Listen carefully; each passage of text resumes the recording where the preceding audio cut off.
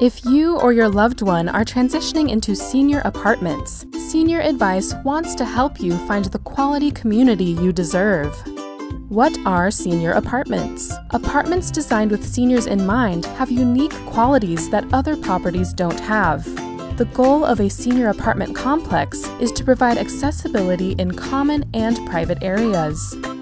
Many senior apartments use ramps and elevators instead of multiple flights of stairs.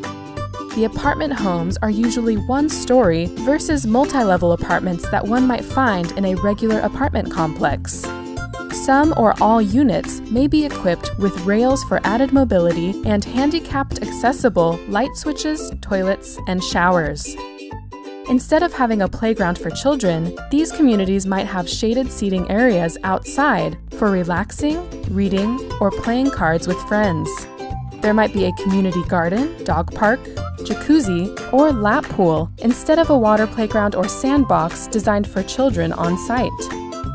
A senior apartment community offers adult specific amenities that older residents enjoy and appreciate. Senior apartments can be purchased or rented depending on the property.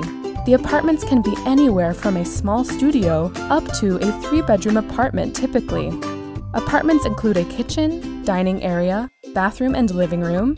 Each vary in size and cost. In addition, some seniors who live in apartment communities choose to hire in home care for extra assistance. Aside from a typical apartment complex with hundreds of units, senior apartments tend not to be as large or sprawling. Types of senior apartments, or senior specific independent living communities, include duplexes, triplexes, townhouses or condos, high rise apartment buildings for seniors, Continued Care Retirement Community, CCRC. A sense of community is important for aging adults who are living as a couple or solo. Senior apartments offer a place to live among those in a similar phase of life. How to pay for senior apartments. Since senior apartment communities don't provide residents with medical services, Medicare, Medicaid, and other financial aid programs won't cover the cost.